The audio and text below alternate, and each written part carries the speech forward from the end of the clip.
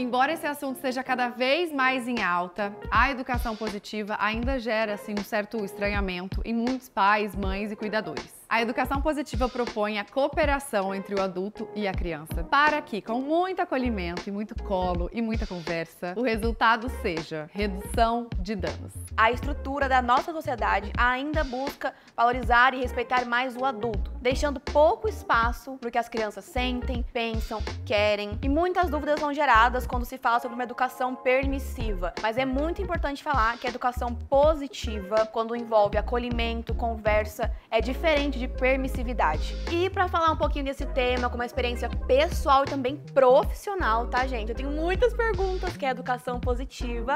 Chamamos aqui a mamãe do Luca e da Nina, Maia Eigman. Seja bem-vinda! Obrigada, Vi.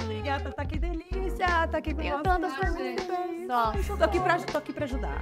Não, eu, eu- eu já pergunto tanto pra ela, gente, na DM. Eu falo tanto, eu falo, Maia, vem aqui, como é que faz isso, isso disso? isso? É, é ótimo, assim, poder trocar, poder escutar uma outra opinião, outro lado. Ai, É é, tão... porque além de mãe é pedagoga, é educadora, é Palestrante, escritora, palestrante. Você vive isso, né? Então, Vivo. Mas é- você sente que é o que, além da maternidade, é o que você ama, assim, tipo. Hoje sim.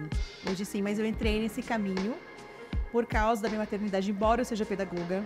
Eu sempre falo que a faculdade não me preparou tanto para esse rolê da maternidade, né? Porque não é a mesma coisa de estar em sala de aula, obviamente. Mas quando eu comecei a perceber minhas dificuldades com os meus filhos, é, e de como eu era desrespeitosa com as minhas crianças, de como eu não conseguia acolher da maneira como eles precisavam ser acolhidos, eu comecei a perceber que eu precisava de mudanças urgentes. Ah, então você viveu os dois lados. Vivi, meus filhos não nasceram tendo uma mãe consciente, uma mãe que Os tava... dois? Sim, o Luca e a Nina. Eu fui é, entrar para esse caminho quando minha filha já estava com quase um aninho de idade e o Luca já estava com três. Ou seja, gente, não existe, nunca é tarde. Né? Nunca é tarde. Nunca é tarde pra E- gente Mesmo para quem tem crianças maiores, tipo adolescentes, às vezes vocês ficam preocupados e preocupadas. Ai, meu Deus, e agora dá tempo? Sempre haverá tempo. Mas a gente vai precisar entrar num processo de mudança para esse para essa reconexão acontecer. Mas os nossos filhos estão sempre nos esperando de braços abertos.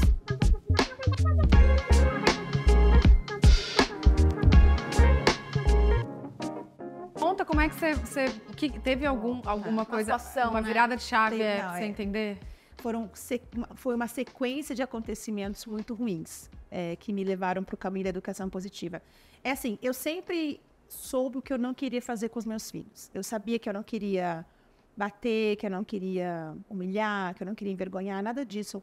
Mas eu me via repetindo um ciclo de- quase que diário, reproduzindo exatamente essas coisas, assim, ferindo eles emocionalmente.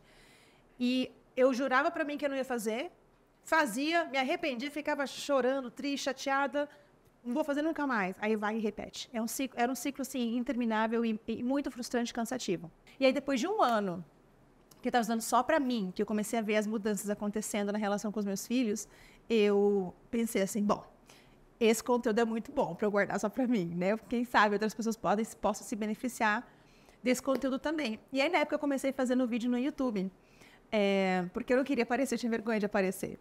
E aí eu fazia vídeos desenhando mapas mentais, eu colocava o celular assim de cima e eu fazia desenhos explicando conceitos assim da educação positiva, e fazia narração, e entrava dentro do guarda-roupa para fazer um efeito de estúdio. Que legal! Desse jeito. Mas aí me falaram que eu precisava entrar no Instagram também. E, e eu, eu fico muito feliz com o impacto que isso tem, gente. Ah, é, é muito legal. Porque sim, eu fico pensando, quanto mais adultos são alcançados, mais crianças podem crescer em lares mais pacíficos. E isso daí é impagável. Assim. Pagável. E uma coisa, amiga, que eu acho muito positivo é deixar a criança ser criança. Manchou a roupa, tá bom, deixa manchar, sabe? Deixa ela se divertir, deixa ela ser criança. Não vai se preocupar com isso. Eu acho que isso é muito menor do que talvez a diversão que ela possa ter naquele momento, sabe? Por quê? Porque Vênus está aqui para resolver! Vênus salva o seu uniforme. Então, gente, se você acha aí que tem um uniforme que já não dá mais jeito, ah, esse aqui já tá encardido. Tipo, mancha de ketchup, Não. mancha de suco, mancha de molho. Gente, Vanish dá um jeito, até nas manchas mais difíceis sem, danificar o tecido. Ai, falamos! Vanish salva o seu uniforme e também a gente ajuda o quê? A salvar o seu bolso, porque você vai economizar comprando aqui no nosso QR Code. Ou do nosso QR Code, a gente tá avisando. Tô avisando, não vou avisar de novo. Só no próximo episódio, no caso. Vanish resolve. Vanish resolve. Aproveita o QR Code, É tá? isso. E depois conta pra gente. É, vamos falar assim, qual que é, o, é, o- o significado da educação positiva Tá. e o, o real significado e o que as pessoas pensam que é. O que elas disso? pensam, a gente já sabe. É. Vamos falar disso, que eu adoro. Gente, é muito bom, porque eu vou muito contra, assim, mu- às vezes sentado na mesa, as pessoas falam, ah, e eu. Aí falo, eu falo, será que vale a pena? Às vezes, quando a Ah, pessoa é, não tem filho, falar. criança, às vezes eu nem, nem falo. Falo, ah, tá bom, deixa aí. Sabe? Porque às vezes Sim. é cansativo, né? E não deveria sim, ser. sim. Então, é. Não deveria ser mais necessário convencer as pessoas que não se bate em outro ser humano, ainda mais muito mais fraco do que você. Existe toda uma construção social é, que libera o adulto a exercer poder e domínio sobre a Como criança. se E- eu fosse dono, né? É, então, mas é uma, é uma herança do que a gente chama de pedagogia nebulosa, que é uma construção é, europeia, na qual ahm, a, a pedagogia e a educação toda era baseada na, na religião. É, então, era como se fosse assim: Deus te dá liberdade de tratar teu filho bem como que você quiser, e tem que ser duro. Porque o amor em excesso era visto como algo primitivo, né? Ou tá mimando demais. é, eles chamavam de Affenliebe, que significa amor de macaco. Esse, esse dar colo, esse dar carinho, era visto como um comportamento de macaco primitivo. Então, existia toda uma, uma resistência à conexão, à, à amorosidade, ao respeito pela infância, e todos pensavam que precisava ser muito duro, es- es- expunham os bebês a calor e frio intenso, porque achavam que aquilo fazia o bebê se tornar mais resiliente, mais forte. Meu Deus, gente. Sim, é. A educação positiva especificamente tem quatro pilares, né? Tá. Então, vamos lá. Teoria do apego seguro. Para quem nunca ouviu falar, eu tenho um, um- o psiquiatra John Bowlby, inglês. Ele fez um- uma, um trabalho de pesquisa observando crianças e como elas reagiam ao reencontrar com a figura materna. Na época, foi feito com crianças no pós, na, na se- pós-Segunda Guerra Mundial e ele começou a observar essas crianças e começou a perceber um padrão de reação que essas crianças tinham ao reencontrar essa mãe. É, e ele foi percebendo que essa reação da criança estava atrelada à qualidade da relação que existia entre essa mãe e essa criança. Então, por exemplo, algumas crianças reencontravam a figura materna, choravam, mas aliviavam depois. Então, o, o Bowlby entende que era uma relação de apego seguro. Então, a criança sabia que reencontrando essa figura, ela podia botar para fora tudo que ela estava sentindo, mas depois ela se acalmava de novo porque sabia que estava segura. Existiam as crianças que reagiam de uma forma ehm, com mais desapego, ou seja, não se conectava com essa figura, não olhava para ela, ou chorava em, em excesso e não conseguia parar de chorar, enfim. Então, resumindo, é, uma das, um dos pilares é a teoria do apego. Então, a gente se relaciona com a criança de forma que ela confie na gente, que ela saiba que ela pode contar. Sabe? Quase que assim, se eu tô triste, mamãe vem para me ajudar. Se eu tô frustrado, papai vem para me, pra me socorrer. E antes que vocês falem assim que vai deixar a criança mal acostumada com isso, a criança precisa ter a certeza de que ela vai ser socorrida porque ela não dá conta de lidar com isso sozinha. O segundo pilar é a inteligência emocional e aí passa pelo adulto, né? quão, está, quão desenvolta está a nossa inteligência emocional? Como é que a gente lida com os nossos traumas, com as nossas frustrações, com as nossas tristezas? Engula o choro ou eu expresso de maneira saudável? Joga as coisas na parede quando estou com raiva ou converso com alguém peço cola para me acolher? Então, Ahn, não tem educação positiva sem um adulto consciente na relação também, né? Aí o terceiro pilar é educação- da educação positiva é o desenho original do ser humano. Aí vou explicar com uma frase, vocês já vão entender o que, que é. A gente não nasce com pudor de chorar, por exemplo. Bebê tá pouco se importando. É o se jeito que se alguém- comunica, inclusive. Exatamente, livre, leve e solto. Esguela. Mas aí hoje em dia sou o adulto que então, o desenho do ser humano, desenho original do ser humano é uma, uma, forma da gente, é uma planta base de como a gente vem. E a ideia agora é a gente tentar se reaproximar disso que a gente tanto se afastou. E a gente se afastou muito por causa da sociedade, da interação dos nossos pais com a gente, que a gente não podia chorar, porque era visto de uma maneira, né, o incômodo, não pode chorar, desviava a Engole o choro. engole o choro. E aí a gente se, se afasta, né? E aí a gente começa a desenvolver um monte de somatização devido ao afastamento desse nosso desenho original, né? um, dois, três, e agora o quarto pilar, desenvolvimento do, do ser humano. A gente estuda o desenvolvimento mesmo, principalmente na infância, para entender o que, que a gente pode esperar na infância. É, igual a gente sempre fala, né? O cérebro maduro da relação somos nós. Então não dá para esperar que uma criança de dois anos, de três anos, de quatro, até de cinco ou mais, consiga se regular sozinha. E as pessoas às vezes ficam até com esse discurso. Gente, o que tem de discurso contra, eu tô safa, tem É isso que eu queria falar. Fala uma coisa que você já ouviu contra, que você fica, nossa, eu ouço sempre, que é um absurdo. Ah, o mais básico é que é mimimi, que é frescura, que é Nutella. Que vai ficar mimado. É, exatamente. Tô mimando a Bia. Mas lembra que eu acabei de falar para vocês sobre a pedagogia nebulosa e como as pessoas olhavam para o amor como se fosse um comportamento primitivo. Por isso que a criança precisa ter a certeza de que ela é vista. Mais uma vez, ninguém nasce com pudor de se expressar, nenhum bebê vem ao mundo com receio de nada. A gente aprende a ficar melindrosa, melindroso para falar as coisas. É muito doido esse sistema de valores invertidos, né? A gente se preocupa mais em acomodar o adulto. Ai, o adulto não pode ficar magoado, o adulto do que a criança. O que, seu... que vai levar aquilo para sempre e que não sabe lidar com as emoções igual um ah, adulto. É, o seu vídeo do, do, Fazendo a comparação de que se vem uma visita em casa, derruba é. vinho no tapete. É. Você fala, imagina, tá tudo bem, eu limpo. Eu vi esse vídeo. E aí, se, se a criança, seu filho derrama alguma coisa no tapete, você... Ah, é. Por quê, gente? É. Ninguém porque, vai derramar porque de a maioria propósito. do adulto sente que tem poder em cima da criança. É. E, e, a criança não pode errar, tipo. Pois é. Né? A, criança, a, criança que tá, tá justamente na fase para poder errar. Pra errar e falar, tipo, tá tudo bem, filho. A, a gente liga. É, e, e, não que a gente não se irrite, sabe? Não, não é sobre uma romantização, sobre. Ai, nunca vai ter nenhuma reação, nunca vai ficar irritado. A gente. Todo mundo se irrita, né?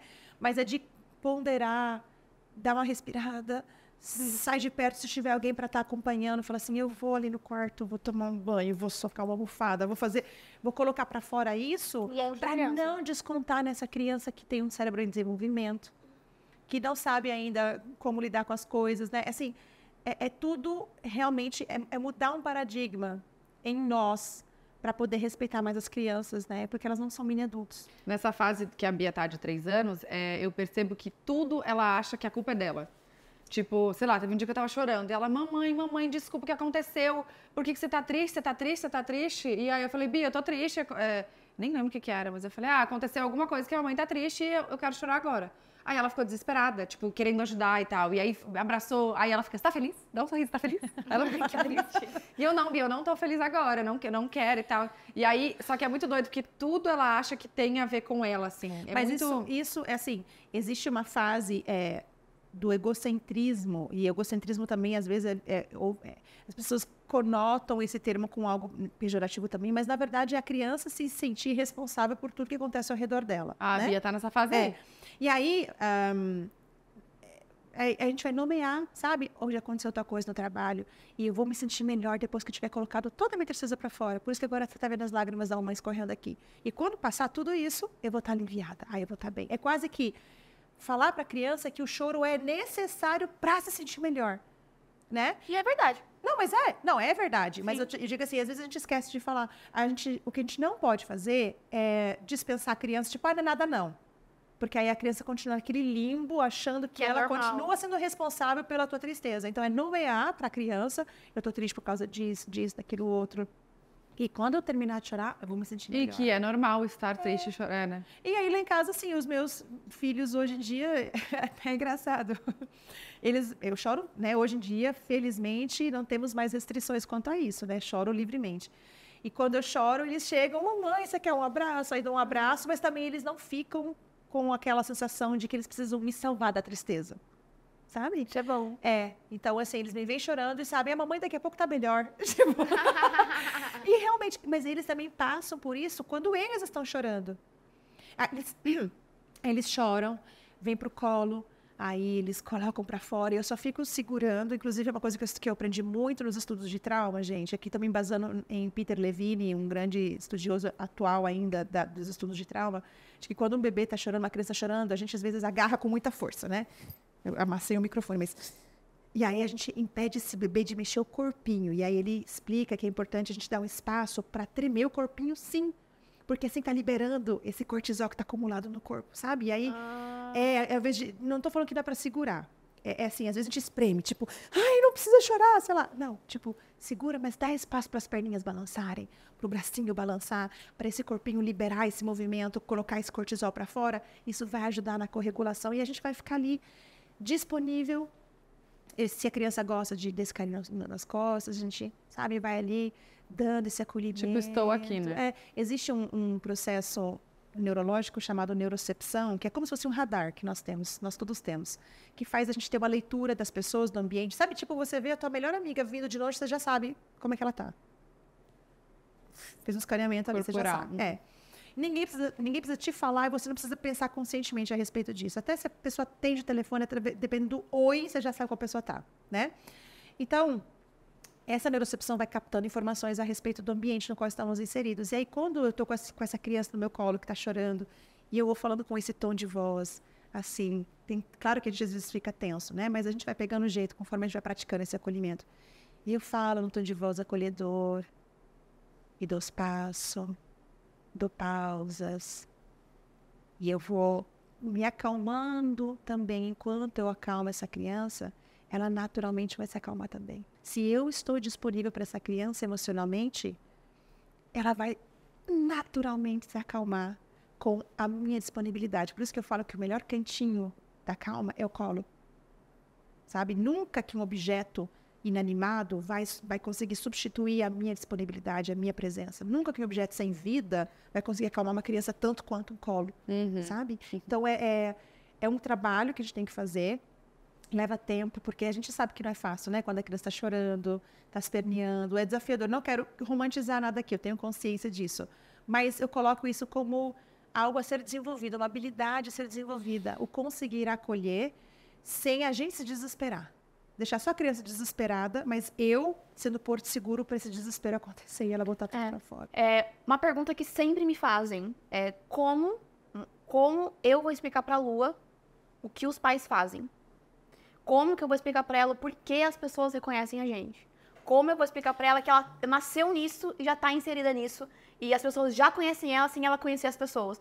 Como que ela vai entender a profissão dos pais tão nova? Porque só de ir num shopping com três anos, a criança já tem a consciência de que tem uhum. algo diferente. Porque... Amiga, mas ela não sabe, ela nunca viveu do outro jeito. Para ela isso é o normal. É o normal. É. Então, mas, mas é necessário explicar para ela, tipo. É bom nomear. Entendeu? Bom. É porque sempre... eu. O que, eu que tenho... você fala? Deixa eu ouvir você primeiro. Nunca falei, porque eu, não, eu deixo ela Nunca perguntar.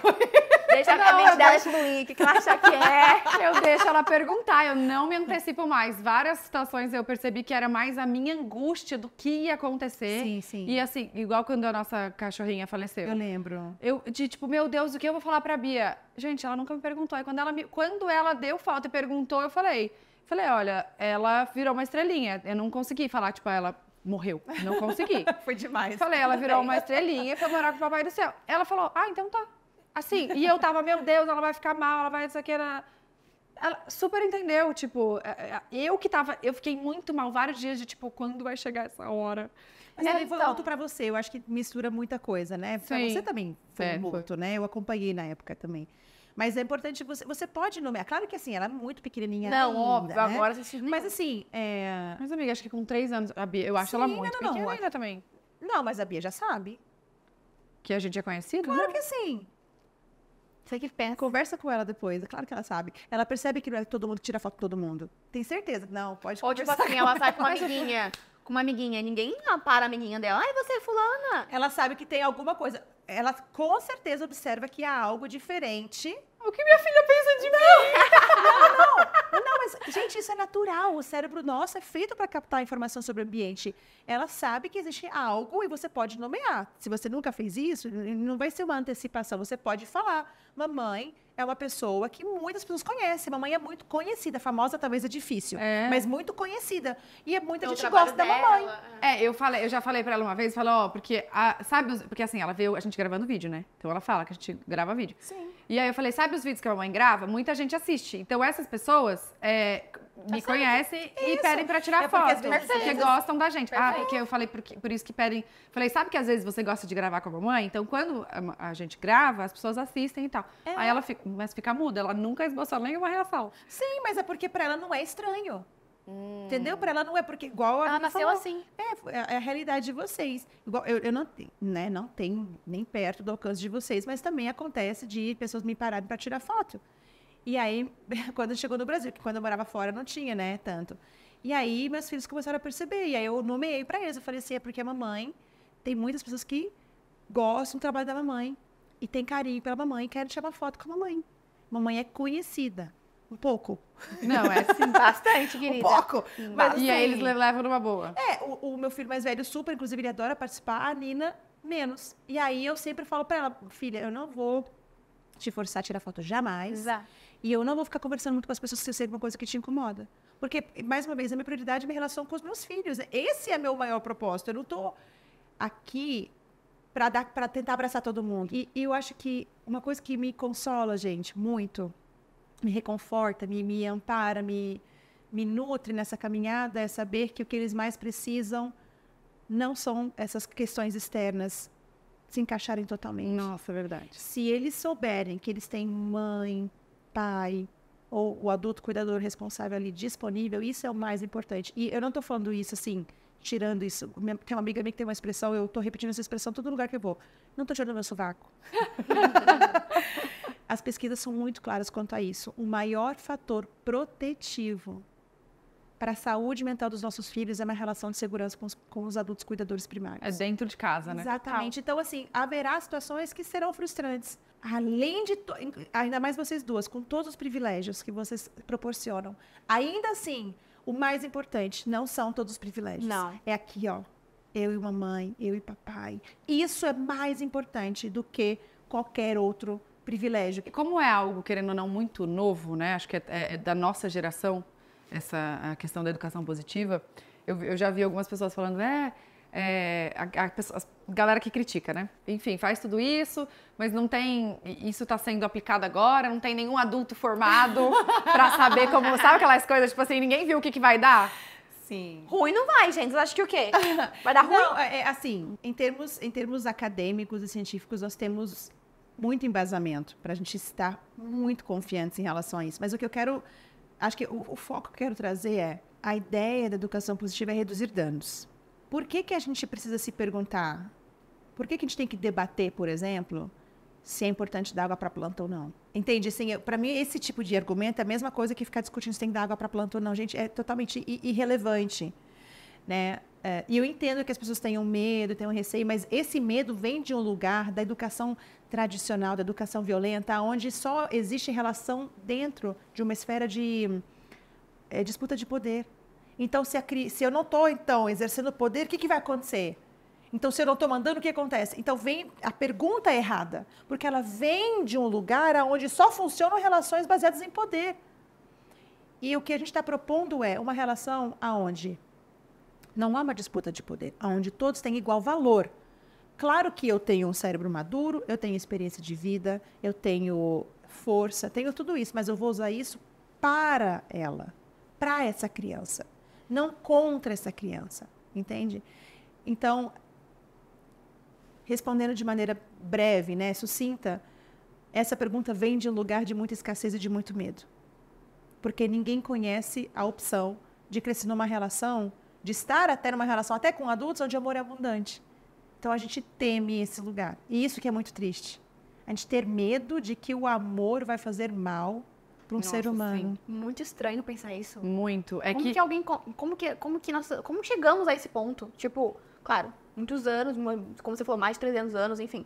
Mas como, como pode, né? Tipo, é, é, algo É bom. muito escasso, é. Não, e eu fico muito, muito feliz de, de ter esse, esse, de ter tido esse contato com a educação po- positiva e tal, porque, lógico que nunca passou na minha cabeça bater, mas eu não, não saberia qual, qual seria a solução, então, porque, né, eu já percebi várias vezes, assim, tem várias vezes que eu perco a paciência, eu, graças a Deus, eu tenho esse privilégio de poder chamar o Júlio, poder chamar uma outra pessoa para falar, fica aqui um minutinho que eu já volto.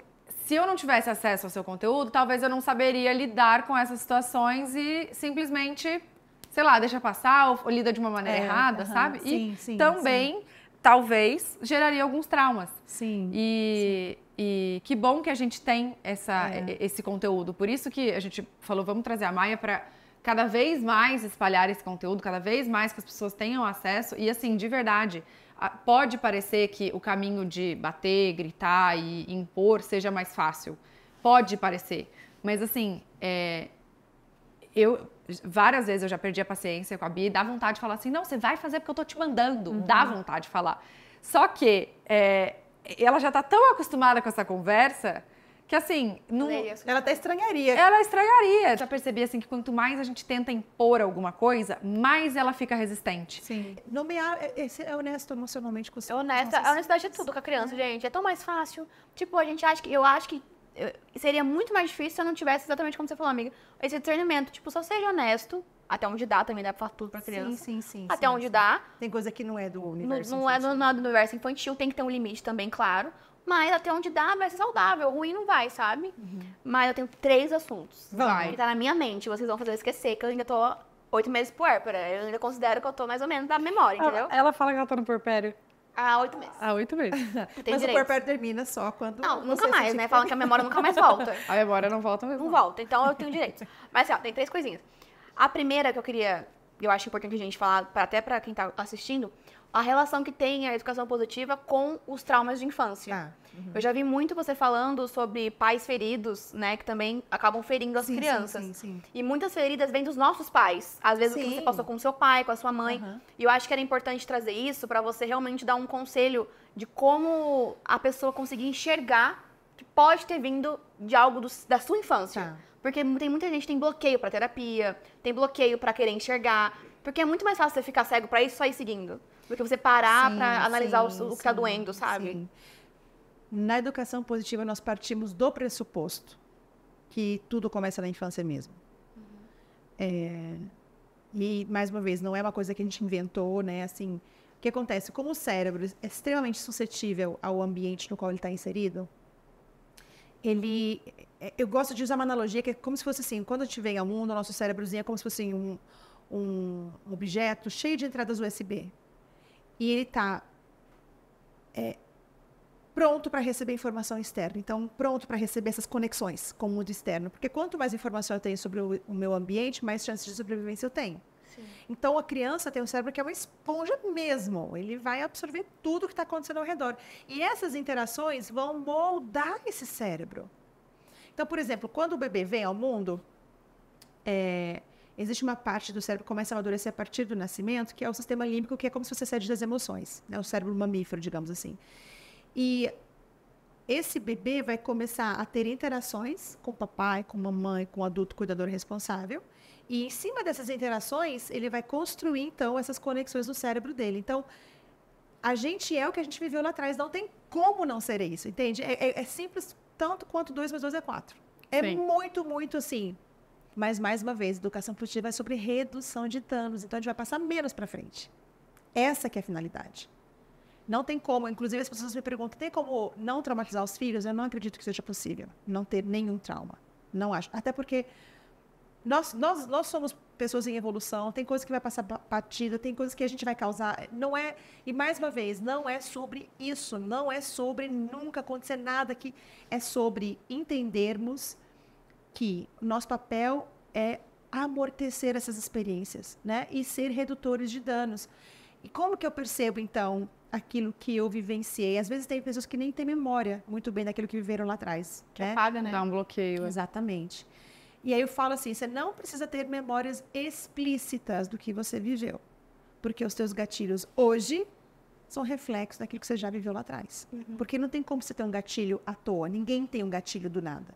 Não, e às vezes até não foi com você, mas você viu alguém fazendo com outra criança. Se você, era uma você criança... vivenciou isso. Sim, que você vi- vivenciava violência doméstica, você vai ter gatilhos diante de cenas de violência. Com certeza. Eu acho que, nossa, pensando agora, assim, eu acho que a minha mãe é uma exceção da geração dela. Eu acho que sem ela perceber, ela plantou uma educação positiva na minha casa. Porque a minha mãe é, era muito fora da curva das outras mães. Eu via as minhas amigas sofrendo com, a- com, com as mães em relação à comida, em relação à escola, à cobrança. A minha mãe, tipo, o máximo que ela fazia era deixar o prato apresentável, tipo, bonitinho, nananã, combinar as cores da comida. Só.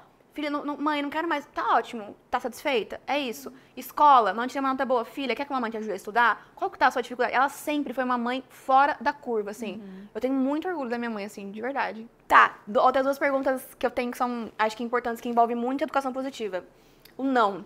Ah, sim. O não é uma coisa legal de se falar, porque eu, eu nos livros que eu li, eu li muito, tipo assim, evite falar o não. Tá, vamos lá. Aí você fica naquela ansiedade, tipo, você não posso falar não. mas- É, é, tá, é porque, olha só, tudo que vem. em- embora a educação positiva não seja tão recente, porque nós temos, assim, estudos de muito tempo, né? Mas, assim, agora está popularizando, né?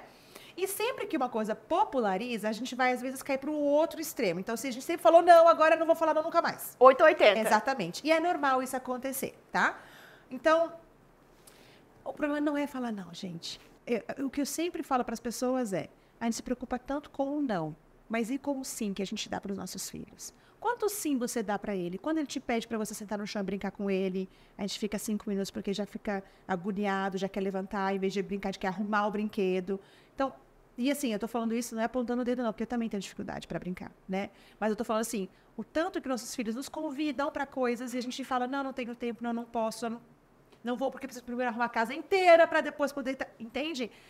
Então, assim, a gente se preocupa tanto em falar não, mas toda vez que eu não me abro para um convite para meu filho, eu tô falando não para ele também o tempo todo. Mas, Tá por exemplo, uma coisa que vai ser perigoso pra ele. Tipo, a criança vai pôr a mão na tomada. Tá, então, vamos lá. No seu caso, igual você tem a lua que é pequenininha, já tá engatinhando? Super, ela não tá, Tá. quieta. É tipo Então. assim, ó, em um minuto ela tá ali, assim, já. Lá no Então, aí o que a gente tem que entender é, não adianta para um bebê de oito meses Oito meses. eu ficar falando não, não, não, não. Por quê? Porque não registra ainda. Aí as pessoas falam assim, ah, mas eu falo e entende. Então, a criança entende o tom da voz. Fala, não! É, eu não Aí vai isso. pro medo, Até, né? Gente, até Eu outros mamíferos vão te olhar. Não é nem só humano. Se você falar assim com cachorro, com gato, to- todos vão por causa do teu tom de voz. Sim. Mais uma vez, neurocepção. Aí esse tom de voz deixa em alerta. Então, nessa idade, protetor de tomada, gente. Eu, eu querer que a criança entenda o meu não nessa idade é a mesma coisa que eu, eu querer que ela saiba calcular 2 mais 2. Não tem como. Mas é porque é muito fácil. E, mais uma vez, por que, que a gente se acha no direito de usar tal frase para conseguir tal coisa com as crianças? Porque a criança não vai conseguir se definir da gente. Ai, Porque- chantagem. Nossa, é meu Deus, chantagem. detesto, Exatamente. Se o teu marido tivesse manipulado você assim, você começaria a olhar para ele de uma forma completamente diferente. Tipo, cara, Será peraí. que ele foi ele você mesmo? usou de estratégias para me conquistar? Não foi natural? Não foi orgânico isso? E a gente faz isso com os nossos filhos. A gente sempre quer uma fórmula rápida, fácil, eficiente para a gente manipular os nossos filhos para eles fazerem o que a gente quer que eles façam. Aqui se chama adestramento. A gente faz isso com o pet, não com crianças. E muitas vezes, no comecinho, talvez você vai passar por esse desafio, Vi, mas que bom que você tem a Tatá, sabe? Para você Sim. poder desabafar. Você, às vezes, vai lidar com situações assim, que você vai falar assim, não faço ideia porque ela chorou. E, às vezes, a gente não precisa saber, mas o que te pode garantir é a nossa disponibilidade, mesmo que a gente não Sim. saiba o motivo. Eu posso provar. Eu me importo com o que você está sentindo. Porque toda vez que a gente ignora, igual, tem muito essa coisa que. Ai, esse senso comum que tem que ignorar o mau comportamento, porque senão a criança vai crescer achando que ela pode ganhar as coisas assim. Pior coisa. Primeiro que o comportamento nada mais é que uma comunicação. Todo comportamento tem por trás uma Tá necessidade. querendo dizer, dizer algo. E aí eu preciso entender que todo comportamento é uma comunicação. E se eu ignoro o comportamento, eu não estou ignorando o comportamento, estou ignorando essa necessidade dessa criança. E eu estou falando para ela que eu não me importo com o que ela está precisando. É isso que eu estou comunicando quando eu ignoro o comportamento. Eu já vi muita mãe também falar do, do tal do botão do elevador. Tipo, que a criança quer apertar e você aperta, a criança, eu queria ter apertado. Já vi mais de uma amiga mãe falando isso. É, Até que no programa, acho que a Dani Schoma já falou também. é mas agora, a, a Bia já aconteceu e agora é- a função dela é apertar. Tipo, Pois ó, é, deixa a criança quarto, apertar. Às vezes sem querer, sabe? Às vezes você pode ter entrado e já apertou. É, você olha, Mas veja só, olha botão. só, isso não é tão estranho. Se eu vou fazer o meu cabelo e a pessoa corta o meu cabelo errado, eu não vou ficar frustrada com aquilo também? Se a pessoa faz uma maquiagem em mim e a maquiagem fica do jeito que eu não gosto, eu vou ficar frustrada? E por que, que a, criança, a frustração da criança não é tão importante quanto a minha? Por que, que a minha frustração é mais válida do que a da frustração da criança? Só porque a gente acha que um botão não tem valor? Para a criança tem valor. É isso. É a gente começar a entender que a criança enxerga as coisas da maneira dela. E não é ela que tem que vir para o meu universo. Eu tenho que ir para o universo dela. Sim. Não, a última coisa que eu queria falar é, vamos supor, queremos é, começar uma educação positiva. A mãe viu esse, acabou de assistir nosso episódio, falou: Nossa, muita coisa eu não tô fazendo, eu quero começar. Amiga, era isso que eu ia falar pra gente. Não, mas não é isso que eu vou falar, calma. tá. Quero Ah. começar. Só que o que adianta, por exemplo, a mãe, às vezes, sei lá, a mãe solo, tem uma babá, Tá, tem uma rede de tá. apoio, tem um pai, tem uma tia.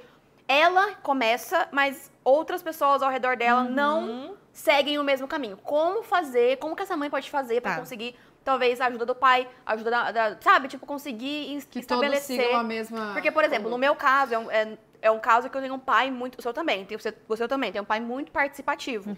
Em muitos casos, na- acho que a maioria, Uhum. A não maioria é. não é, É o sim. contrário. Sim. Às vezes o pai é abusivo com a criança, às vezes o pai replica coisas na frente da mãe que não deveria. E aí. Ou os pais separados e aí ficam um tempo na casa do pai. não Exato, diversas situações que são Sim, contrário. tá. A gente é os privilegiados, eu sei. Sim. Mas como que uma mãe consegue, talvez, o que seria ideal? Ela, ela falar na frente do pai, o- com a criança na frente, o que é o correto pra criança ver que, tipo assim, não, que minha mãe tá falando tá certo. Ou sair do cantinho, não, vamos tentar fazer dessa forma, porque eu acho que é o melhor, é o mais positivo, é uma educação mais Tá. legal, leve. Tá, a primeira coisa que a gente precisa trazer é cada um tem a sua realidade. Exato. A gente não vai conseguir é, construir o ideal, porque a nossa sociedade não é centrada na infância, é centrada no adulto. Então, no momento, do jeito que as coisas são hoje, a gente vai trabalhar com o que a gente tem. Então, para uma mãe solo, que, por exemplo, não tem a quem recorrer em casa quando está com algum perrengue, é, a educação positiva não traça uma linha, tipo, você tem que conseguir fazer tal coisa. Mais uma vez, redução de danos, o que, que dá para fazer nesse contexto? O que, que é possível fazer dentro de um contexto de uma família que trabalha três turnos por dia? Não é uma meta se chegar, é sempre focar. O que, que dá para reduzir de danos nesse contexto específico aqui? Nessa realidade aqui, Exato. de privilégios ou de falta de privilégios. É, e entender também que o ideal seria, sim, que a escola tivesse consciente, a vovó, a vovô, todo mundo. Mas se você que está assistindo aqui, vocês, mães, pais, você única pessoa, já tem a consciência, você já está reduzindo danos.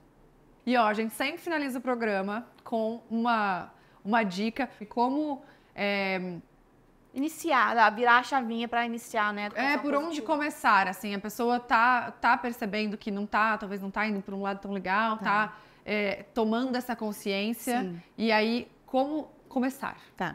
Então, eu escrevi um livro. Ai, gente, quer, dá aqui pra gente. quero, quero. Não, mas Ela eu já tinha dado, deixa eu falou explicar, eu, pra eu vou, eu vou, eu vou dar pra vocês aqui e depois eu vou explicar uma Quero, coisa para as pessoas. quero. Que é assim, eu escrevi um livro, que é esse daqui, A Raiva Não Educa, Calma Educa. Eu escrevi ele com... a- Eu Filma tenho a camiseta, eu tenho a Não, mas é assim, camiseta. eu- eu- essa pergunta que você trouxe é a pergunta que norteou esse meu livro. Tipo assim, eu queria escrever um livro que fosse uma porta de entrada. Que fosse um livro que as pessoas olhassem, lessem e tivessem várias viradas de chave. Então, é esse meu primeiro livro aqui que realmente vai ajudar ao que eu chamo de tirar as vendas dos olhos e enxergar o adultismo estrutural. Que é o quê? Esse Tudo sistema de poder. Exatamente, o sistema de poder contra as crianças. E esse outro aqui, Isso é babado. Você É leu? babado. Também é o assunto que a Tá. gente trouxe um pedacinho. Aqui a gente mínimo. fala muito sobre as vivências emocionais dos adultos. Inclusive, eu separei alguns espaços aqui para as pessoas fazerem anotações, porque eu faço umas perguntas bem específicas para provocar uma autorreflexão nos adultos e começar a entender um pouquinho melhor por que, que a gente se comporta como a gente se comporta, por que a gente tem os gatilhos que a gente tem. É, a ideia é, é- é fazer isso. Gente, é porque Refletir. se eu não passo por um processo de reflexão, eu não consigo mudar a minha relação com os meus filhos, né? Mas é, tem muito conteúdo gratuito disponível. Tem a minha escola também, Escola de Educação Positiva, que é uma escola que forma educadores parentais. Então, se alguém estiver agora pensando assim, meu Deus, uau, quanta informação, preciso de ajuda, tem os meus alunos que são formados em educação parental é, e podem buscar esses profissionais para apoiá-los nesse processo. Ah, e lembrando que educação positiva não é fórmula, acho que ficou muito claro aqui, né? E por mais que a gente fique com essa urgência de, ai meu Deus, eu preciso resolver, é, a gente tem uma vida inteira na frente para reduzir danos. Felizmente, temos muito para fazer, muito para construir a relação com os nossos filhos. É, e é muito lindo poder viver isso, né, Tatá? É muito lindo, né, Vi? Você também já está nessa construção. Logo, logo eu vou estar aqui contando as histórias. É, é tão demais. gostoso, Vale a pena. é, é vale tão a pena. lindo. E a gente vive uma coisa que a gente talvez nunca nem sabia que era possível viver. Ai, Muito mãe, obrigada muito por ter vindo. obrigada. Foi uma aula, Não, gente, eu que amo estar aqui. Obrigada por vocês abrirem espaço para esse assunto. que mais e mais pessoas sejam alcançadas, não só pelo meu, mas pela influência de vocês. Eu já falei isso pra você, Tatá, o tanto que eu fico feliz em te ver falando sobre isso. Vi também agora, tem começado a falar bastante, o Eli também tem colocado bastante conteúdo sobre isso. E como isso é essencial. Pra mim, essa é a melhor influência que poderia ter. E obrigada por vocês estarem fazendo isso. Não, obrigada, parabéns pelo seu trabalho. Eu acho que assim, sou muito grata. O tanto que, que eu consigo enxergar a maternidade e a educação hoje, assim, tem, tem muito de, de você e dos Obrigada. seus livros, dos seus ensinamentos, dos seus posts. bom. Gente, sério, se você não conseguir comprar os livros, compre os livros, vocês vão amar. Mas é, só de seguir ela, já tem muita coisa no, no Insta, assim, que, que vai, vai desbloqueando umas, umas chavinhas, você vai pensando de, um- Não, só esse jeito. episódio, a pessoa já vai sair assim, o que aconteceu? É, é, é. Quem sou eu? É, é, vale a pena. Eu tô hoje vendo, já começo a ver os resultados com a Bia, assim, é. É, quero seguir o mesmo, na mesma linha com o, Caio, com o Caio. E assim, só disso, disso de ver os resultados, eu vejo como ela trata o Caio, como Ah, ela lida com as sim, coisas. Então, é, replicando o que a gente faz com ela, sabe? É lindo, é lindo. Obrigada. Obrigada. Eu que agradeço a vocês. Beijo. Gente, tá aqui na- também no- na descrição o link pra vocês comprarem os livros da Maia. Sim, tá? e até semana que vem com mais um episódio. Se inscreve no canal. Beijo! Beijo!